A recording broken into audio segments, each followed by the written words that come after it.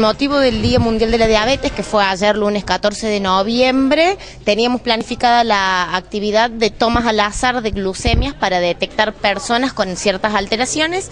Eh, debido al día y que no podíamos estar al aire libre, decidimos suspenderlo para hoy. Así que bueno, lo que hacemos es una detección del azúcar en sangre de gente que va pasando.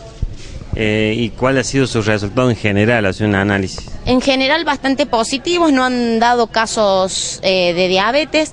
Hay personas en los que la glucemia les ha dado un poco alterada, así que los hemos derivado al médico clínico para que le haga análisis un poco más completos y después de la revisación, bueno, se determinará si tienen que pasar por el servicio de nutrición o, o qué hacer.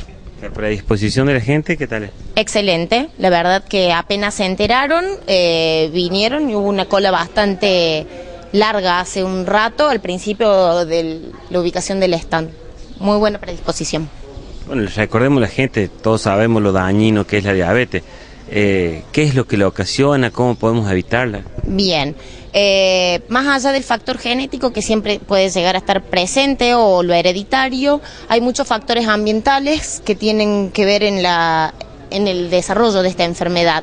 Entre ellos el sedentarismo, la mala alimentación, eh, así que lo que se recomienda es una alimentación completa y balanceada, siempre adecuada a la edad de cada persona y eh, a la realización de actividad física con frecuencia para evitar los kilos de más que también son eh, predisponentes para esto. Y que evita el azúcar. A, medida que pasa la edad, o sea, mientras más grande la persona, hay que consumir menos azúcar.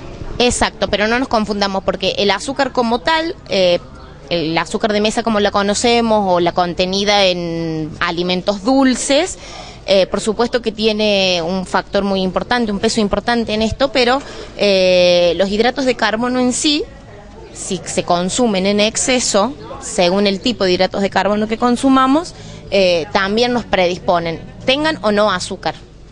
Somos un país de consumir muchos hidratos de carbono. ¿Cuáles son aquellos que no son tan dañinos?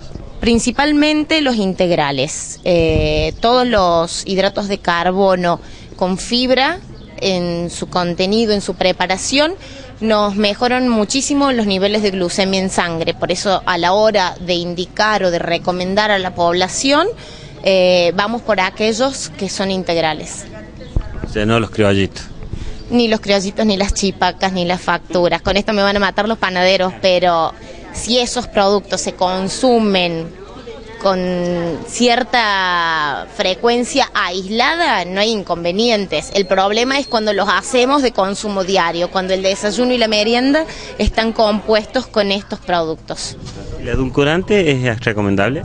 El edulcorante es recomendable para las personas que tienen eh, ya niveles elevados de azúcar en sangre y para la población en general porque está comprobado que el azúcar de por sí no aporta nada más que calorías vacías. Entonces, si queremos reducir las calorías que en la dieta están presentes, lo ideal sería también eliminar el azúcar y optar por los edulcorantes. Mientras más naturales sean, como la stevia, que es lo último que se conoce, mejor.